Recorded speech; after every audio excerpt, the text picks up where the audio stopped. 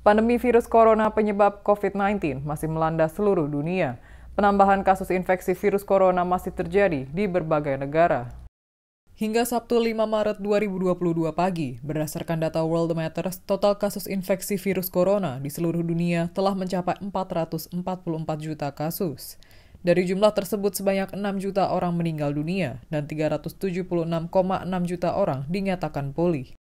Dilansir dari channel News Asia pada Jumat 4 Maret 2022 malam, Singapura melaporkan ada 17.564 kasus baru COVID-19 yang terdiri dari 17.406 kasus lokal dan 158 kasus impor pada Jumat. Tercatat ada 18 kematian, yang menjadikan jumlah kematian akibat komplikasi virus corona menjadi 1067. Ini adalah jumlah kematian akibat COVID-19 tertinggi yang dilaporkan dalam sehari sejak 16 November 2021.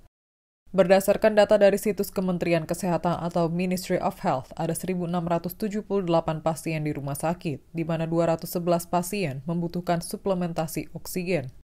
Sebagian besar infeksi baru COVID-19 di Singapura adalah kasus protokol 2, yaitu mereka yang sehat atau dinilai memiliki kondisi ringan.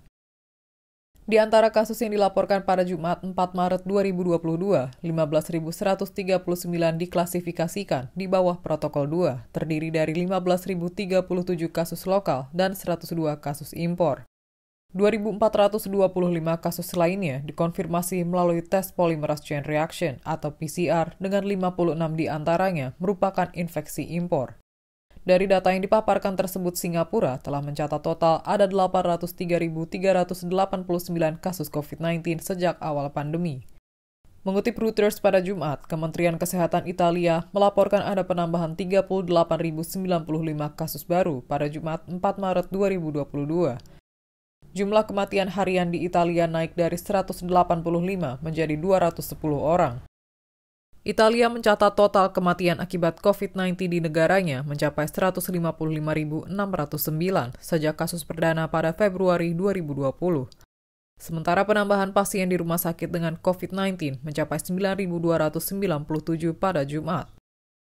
Italia juga merinci jenis pasien COVID-19 yang masuk IGD sebanyak 31 orang dan jumlah pasien yang menjalani perawatan intensif sebanyak 625 orang. Kementerian Kesehatan Italia pun memaparkan dilakukan 388.836 tes COVID-19. Demikian informasi dari Tribun Jateng Update. Saksikan terus Tribun Jateng Update hanya di channel YouTube Tribun Jateng. Jangan lupa follow, like, dan subscribe sosial media Tribun Jateng.